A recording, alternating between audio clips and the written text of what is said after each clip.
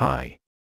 Today we will try to fix Windows Update error 800700643. Firstly go to Settings then Systems.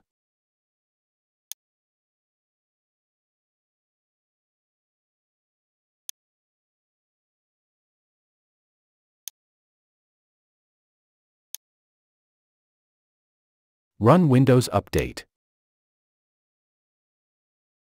It will try to fix your issue automatically. But if the problem is not resolved yet, let's do the next procedure. Take a text document.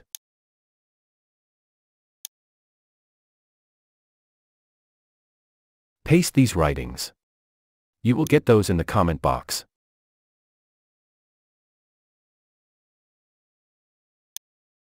Go to Save As. Change the extension to CMD.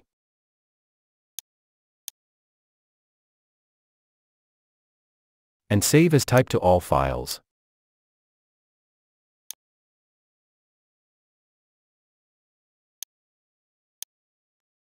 Now come to the CMD file and open it.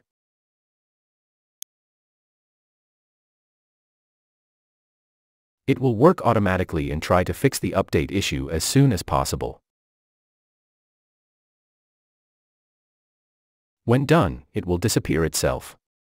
Now simply restart your machine. After restart, you will find the problem is gone and it's fixed. Let us know further on the comment box and subscribe to Joseph IT. Goodbye.